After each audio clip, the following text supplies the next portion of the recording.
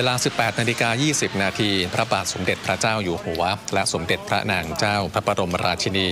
เสด็จพระราชดำเนินไปยังศูนย์การค้าเซ็นทรัลเวิลด์ทรงเปิดงานโครงการหลวง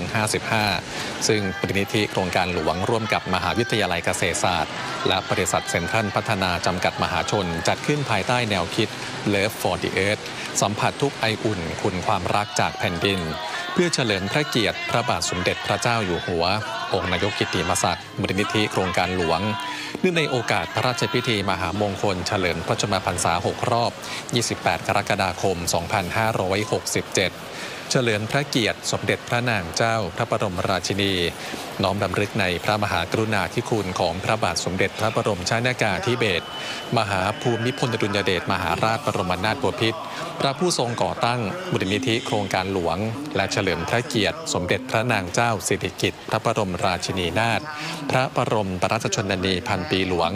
เนื่องในวันเฉลิมพระชนมพรรษา 12 สิงหาคม 2567 พร้อมทั้งเผยแพร่ผลสำเร็จการดำเนินงานในโอกาสครบ 55 ปี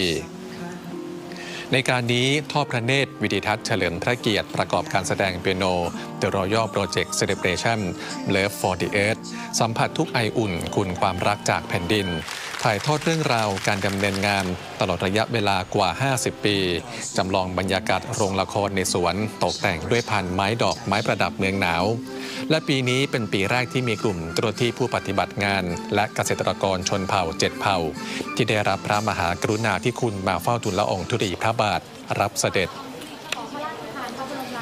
จากนั้นทอดพระเนตรสาลี่พันธุ์ใหม่ ซึ่งโครงการหลวงพัฒนาสายพันธุ์มากว่า 20 ปี มีลักษณะเด่นคือเนื้อละเอียดมีกลิ่นหอม รสชาติหวานฉ่ำเก็บรักษาได้นาน พระบาทสมเด็จพระเจ้าอยู่หัว พระราชทานชื่อว่า Royal l u s c h e s แล้วทอดพระเนตรนิทรรศกรร72 พรรษาทศมมหาราชา พระมหากรุณาหลั่งไหลสู่แผ่นดิน จัดแสดงภาพพระราชกรณียกิจอาทิการเสด็จพระราชดำเนินไปทอดพระเนตรแปลงทดลองปลูกกาแฟพันธุ์อาราบิก้าของเกษตรกรกลุ่มชาติพันธุ์บ้านพุยอำเภอแม่แจ่มจังหวัดเชียงใหม่ เมื่อปี 2518 ปัจจุบันกลายเป็นพืชเศรษฐกิจสำคัญ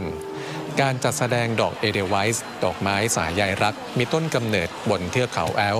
ซึ่งสมเด็จพระนางเจ้าพระบรมราชินี พระราชทานแก่โครงการหลวงนำไปขยายพันธุ์ และปลูกเลี้ยงที่สถานีเกษตรหลวงอินทนนท์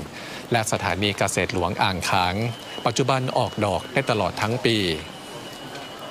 ทั้งนี้ตลอดเส้นทางที่เสด็จพระราชดำเนินผ่าน มีประชาชนที่มาเที่ยวชมงานเฝ้าทูลละอองธุลีพระบาท รับเสด็จเป็นจำนวนมาก ภายในงานยังมีร้านโครงการส่วนพระองค์อาทิ ร้านมูลนิธิส่งเสริมศิลปาชีพ ในสมเด็จพระนางเจ้าสิริกิติ์พระบรมราชินีนาถพระบรมราชชนนีพันปีหลวง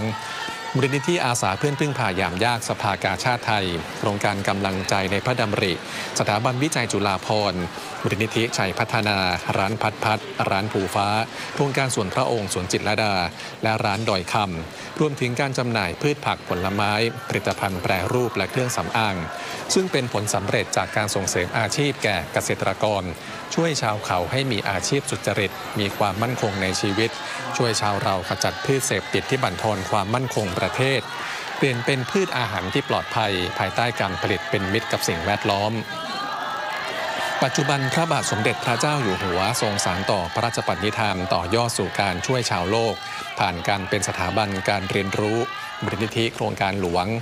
นอกจากนี้ยังมีการจัดแสดงเครื่องแต่งกายจากการพัฒนาต่อยอดลายผ้าชนเผ่าของนักออกแบบชาวไทยและชาวญี่ปุ่น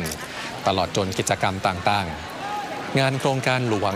55 จะจัดจนถึงวันที่ 13 สิงหาคม 2567